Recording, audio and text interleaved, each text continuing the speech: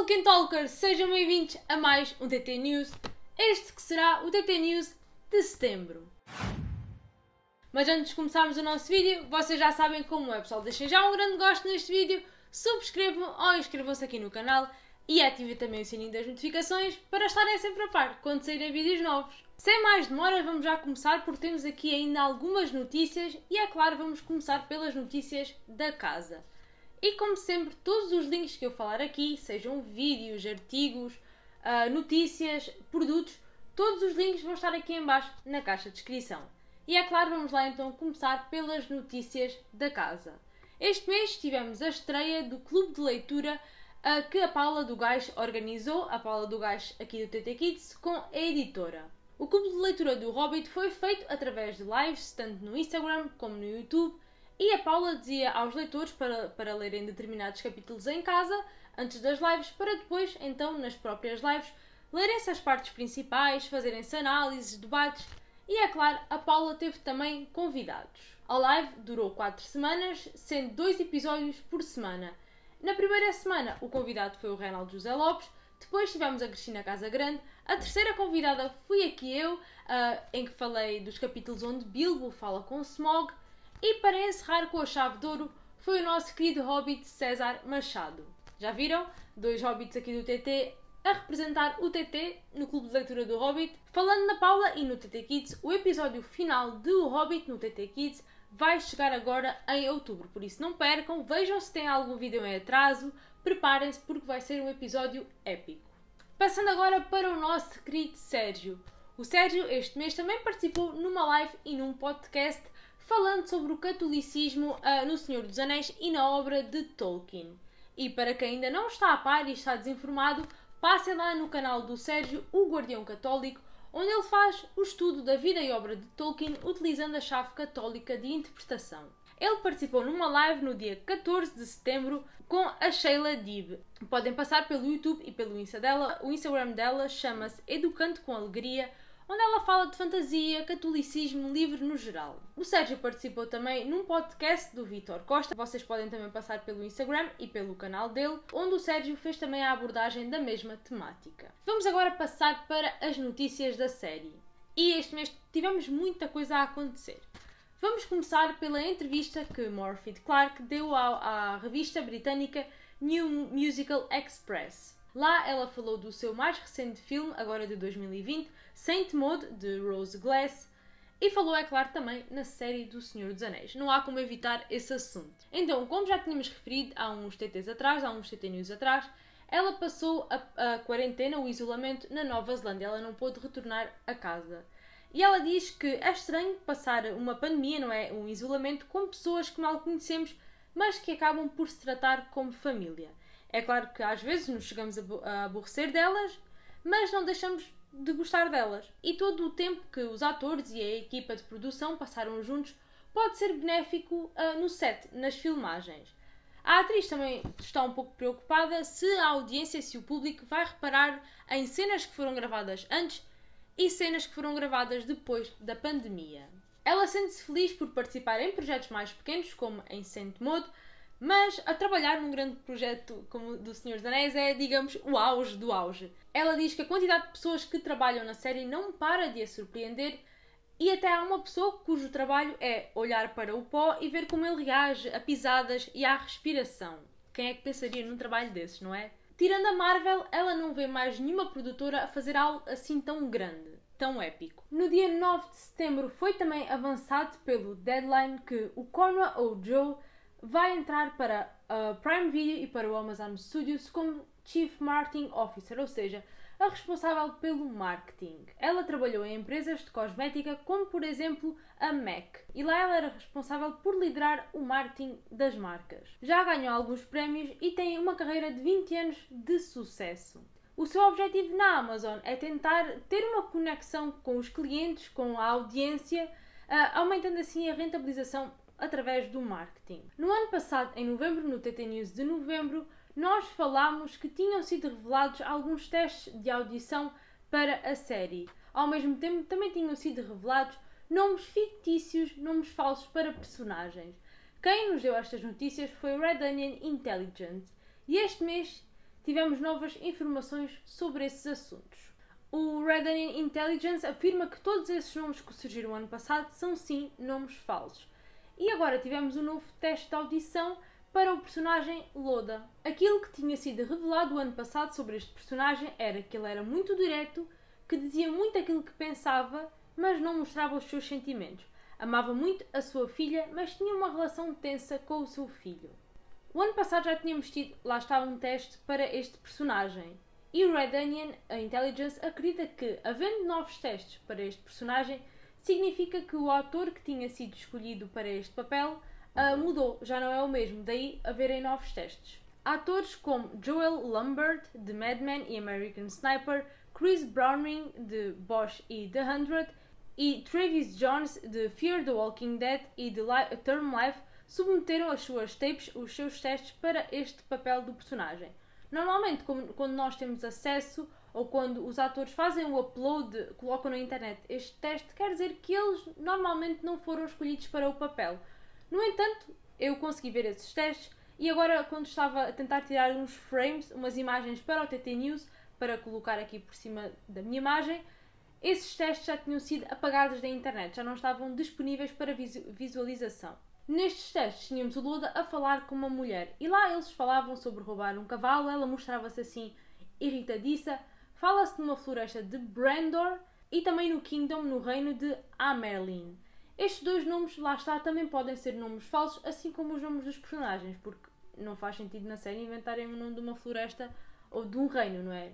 É que o personagem a gente às vezes ainda compreende, ok, personagens que vão preencher lacunas, mas lugares não faz sentido nenhum, não é? Fala-se também que uh, ele também diz que consegue ler o olhar a ela e que no norte uh, ela não irá encontrar paz, mas sim um exército, e que no sul poderia encontrar uma recepção mais calorosa. Na cidadela, que é onde eles estão, muitos acreditam que as tradições são mitos e superstições, mas no sul acredita-se ainda que há tribos que vivem da terra e das velhas tradições e ainda falam a língua antiga. Os jovens tentam procurá-los, é, os membros dessa tribo antiga, e Loda perdeu o seu filho mais velho por isso. Basicamente, o teste de audição era assim este diálogo entre estes dois personagens, Loda e uma mulher. A quando desta notícia foi também avançado pelo Red Onion Intelligence que a atriz Amélie Childs Villiers filmou cenas uh, no início do ano para a série do Senhor dos Anéis. Como podem ver, é uma atriz ainda bem jovem, é uma criança. E saiu agora também a notícia pelo Deadline no dia 28 de setembro de que finalmente a série retomou oficialmente as suas gravações. Porque vocês lembram-se, a série parou por causa da pandemia, depois a Nova Zelândia deu permissão para a série do Senhor dos Anéis e outras produções recomeçarem em julho, mas depois em outubro parou tudo outra vez, pelo menos em Auckland. E agora sim recebemos a notícia oficial, pelo deadline, que a série retomou as suas gravações. A maior parte do primeiro e do segundo episódio já estão gravados e não sei se vocês se lembram, mas uh, a produção planeava uh, que depois dos dois primeiros episódios estarem gravados, a série iria entrar em hiato, iria haver uma pausa. Mas devido a esta pausa obrigatória que se deu devido à pandemia, esse hiato uh, pronto, já aconteceu de certa forma. E os roteiristas tiveram tempo e aproveitaram tempo para trabalhar agora no roteiro da segunda temporada. Cada vez mais vamos tendo mais rumores, mais informações sem qualquer contexto sobre a série, o que é normal porque a série não revela nada, a própria Amazon não revela nada oficialmente sobre a série há meses. Eu penso que desde janeiro, quando saiu aquela grande lista de atores. Uh, e é claro, estamos todos ansiosos para a série, estamos todos ansiosos para saber personagens temos, onde é que se vai passar, uh, especificamente quando e onde, não é? É normal, estamos muito ansiosos. No entanto, uh, nós aqui vamos optar por dar importância àquilo que realmente temos oficialmente. Porque se formos atrás de rumores, isto é uma bola de neve. Há os rumores que, pronto, que a Kaya Scodelario vai entrar para a série, que esteve na Nova Zelândia, mas agora está no Canadá, que vai, ser, vai interpretar uh, que é Lebrion, a mãe de Arwen. Houve toda esta polémica por causa da nudez, que é uma coisa que ainda nem sequer temos fundamento nenhum para, para falar sobre isso. Por isso, nós preferimos não dar importância a estes rumores e todos estes burburinhos que há por aí. Temos muito e muita coisa importante onde nos focar. Quando forem sim saindo mais notícias oficiais sobre a série, nós iremos nos debruçar sobre isso. E por isso vamos continuar porque o TT News ainda vai ser longo. Então, vamos agora passar para os livros. Como já tinha sido referido anteriormente, saiu neste mês, em setembro, a edição brasileira, a nova edição brasileira do Mr. Bliss, Senhor Boaventura. O César já fez aqui a resenha no canal, o TT 480. Saiu também oficialmente o livro do Senhor dos Metais, uh, pela Estética Torta, a tradução brasileira. Vocês já podem comprar estes dois livros aqui pelo link do TT na Amazon, na caixa de descrição, como sempre. Saiu também finalmente o audiobook de Andy Serkis, a ler o Hobbit, e tivemos revelada a capa da edição dos 6 anos das Letters from Father Christmas, cartas do Pai Natal, cartas do Papai Noel. Falando em filmes agora, nós também já tínhamos falado aqui neste filme, neste fun film Horn of Gondor. Filme este que é um fun film checo. Este filme já tinha saído mês passado, em agosto, com uma sessão especial de estreia na República Checa. E finalmente o filme estreou online no dia 18 de setembro. Vocês podem ver o vídeo aqui no YouTube. E é claro, iremos trazer uma resenha desse fun film, como fazemos sempre aqui no canal. E agora, outra novidade sobre um filme que nos deixou muito entusiasmados é que irá sair um novo filme sobre C.S. Lewis. Encontramos estas informações no perfil de Max McLean. Mas quem é Max McLean? Max McLean nasceu em 1953 no Panamá, mas vive atualmente nos Estados Unidos da América. Em 1992, ele fundou a Fellowship of Performing Arts, uma companhia de teatro. Lá, ele produziu peças baseadas na vida e obra de C.S. Lewis e interpretou o próprio C.S. Lewis. Peças como The Screwtape Letters, que é baseado no livro do mesmo nome, que no Brasil se chama Cartas do Diabo para o Seu Aprendiz, também uh, The Great Divorce, O Grande Abismo, e por último, e aquele que é mais conhecido atualmente, a peça C.S. Lewis on Stage, The Most Reluctant Convert, que é baseada no livro sobre C.S. Lewis de David C. Downing, que tem o mesmo nome, The Most Reluctant Convert. E então agora iremos ter a versão dessa peça, mas como filme, no grande ecrã, na grande tela. Vai ser baseado num livro de C.S. Lewis, surpreendido pela alegria e a diferença entre a peça, que tem apenas C.S. Lewis, um personagem que é o e é interpretado por Max McLean, é que iremos ter mais atores e o filme irá ser gravado nos sítios onde C.S. Lewis esteve e viveu em Oxford. O filme vai demonstrar todo o processo de conversão de C.S. Lewis para o cristianismo e até vamos ter, é claro, Tolkien, aquela famosa caminhada entre eles os dois no Edison's Walk, uh, em que tem aquela conversa muito importante, conversa essa que é importante na conversão uh, de C.S. Lewis para o cristianismo. Para o C.S. Lewis iremos ter, é claro, Max McLean, mas o ator que irá interpretar o jovem C.S. Lewis é Nicholas Rolfe e Tolkien será interpretado por Tom Glenister. Como disse, o filme irá ser gravado em locais reais onde C.S. Lewis esteve e viveu, como por exemplo Magdalen College e The Kilns, a casa onde ele habitava.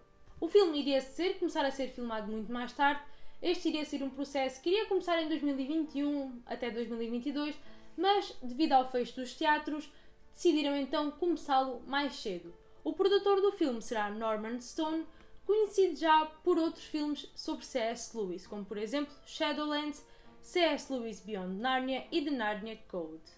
Nós obtivemos estas informações no Movie Guide do Narnia Fans. Vamos deixar aqui em baixo os links para essas informações, assim também como o trailer e até a própria peça de teatro de Max McLean. Agora vamos a novidades de merchandise. Pela Paramount Studio vamos ter esta figura de um Urukai, um Berserker, iremos ter a sua versão normal e Deluxe. Da Star Ace Toys temos uma nova figura da gama D4 Real, que será Truebeard Barbarvo com Mary e Pippin. É tão fofa, eu gosto muito desta. E foi também lançada, uh, eu não sei se vocês se recordam, Vou deixar aqui assim uma imagem dos bonequinhos que se chamavam Fisher Price, ou a marca era Fisher Price, e os bonequinhos esses eram conhecidos como The Little People, a pequena gente, as pequenas pessoas. Então, eles supostamente têm umas linhas de colecionador desses bonecos e foi lançado agora um kit, um set de colecionador do Senhor dos Anéis. Olhem, vejam só. Enfim, é adorável e eu, como tinha estes bonecos quando era criança, também gostava de ter este set, mas pronto, temos outras prioridades. Mais notícias. Este mês foi também revelada uma nova tapeçaria inspirada nas ilustrações de J.R.R. Tolkien. Este projeto irá ter ao todo 14 tapeçarias e está a ser desenvolvido em Opson, em França. A tapeçaria que foi agora revelada é Bilbo woke up with the early sun in his eyes, que no Brasil é Bilbo acordou com o sol do começo da manhã em seus olhos. Nós já, nós já temos aqui dois vídeos sobre as tapeçarias, o TT Extra 50 e o TT Extra 113. Foi também revelado este mês pelo The Sun que o Tolkien é a segunda, não vamos dizer celebridade, figura pública, é a segunda figura pública morta mais rentável, perdendo apenas para Michael Jackson. Tolkien gera por ano 38 milhões de libras. Michael Jackson, que está em primeiro lugar, gera 48 milhões de libras. No dia 24 de setembro, Viggo Mortensen, o nosso rei Aragorn, recebeu um prémio honorário de carreira, o prémio Donostia, no Festival de San Sebastián, em Espanha, no País Basco. Viggo Mortensen acabou de se estrear como realizador no filme Falling, um filme onde retrata um diálogo entre um pai e um filho com traços autobiográficos. É um filme sobre a idade, o medo de ficar doente e de morrer. No filme, para além de realizador, ele é também protagonista, argumentista, coprodutor e compositor da banda sonora. O Vigo, mais uma vez, como sempre, merece uma salva de palmas. Abriu também este mês na Universidade de Glasgow, na Escócia, o primeiro centro de fantasia do mundo. Chama-se The Center for Fantasy and the Fantastic, o Centro de Fantasia e do Fantástico, e abriu oficialmente no dia 16 de setembro deste ano.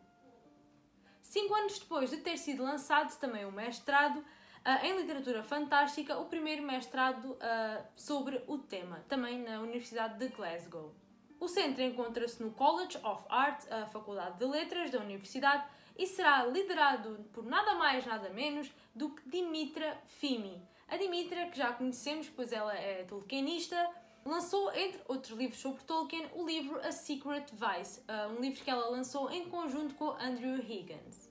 Vai ser liderado então por Dimitra Fimi e também por Rob Malson, que foi quem criou o tal mestrado em fantasia. Agora vamos às datas importantes que tivemos este mês. No dia 2 de setembro foi o dia em que Tolkien morreu. Morreu a 2 de setembro de 1973, com 81 anos. Nós já temos aqui um TT que aborda esse tema, o TT 387. No dia 15 de setembro celebra-se o lançamento de O Silmarillion, que saiu em 1977. No dia 21 de setembro fizeram os 83 anos do lançamento de O Hobbit, lançado em 1937. No dia seguinte, dia 22 de setembro, celebra-se o Hobbit Day, o dia de aniversário de Bilbo e de Frodo Baggins. E é isto, pessoal. Damos por terminado mais um TT News. Encerrando assim o mês de setembro, vamos agora com toda a força para o mês de outubro, porque já sei que vai chegar o fim do mês e vamos ter imensas notícias. Pelo menos tem sido essa a tendência. Por isso, pessoal, por hoje ficamos por aqui. Eu espero muito que tenham gostado deste vídeo, por isso já sabem, se ainda não o fizeram, deixem like no vídeo, comentem aqui em baixo o que acharam, qual foi a notícia que vocês gostaram mais estão muito ansiosos ansiosos para a série, para os filmes, para os livros, para tudo o que aí vem. Não se esqueçam também de subscrever ou inscreverem-se aqui no canal se ainda não fizeram. Sigam também pelas nossas redes sociais, sigam também o nosso blog e também nos podem ajudar através da Amazon comprando livros, outros artigos ou subscrever a Amazon Prime Video, onde irá estar, eh, onde irá estar a série da Amazon, através dos links do TT também se podem tornar padrinhos ou madrinhas aqui do canal, ajudar com qualquer quantia monetária e sem qualquer compromisso. E também se podem tornar legendários, ajudando-nos com legendas aqui para os vídeos do canal. Por hoje, ficamos por aqui. Eu espero muito que tenham gostado deste vídeo. Vemos no próximo e um grande beijinho!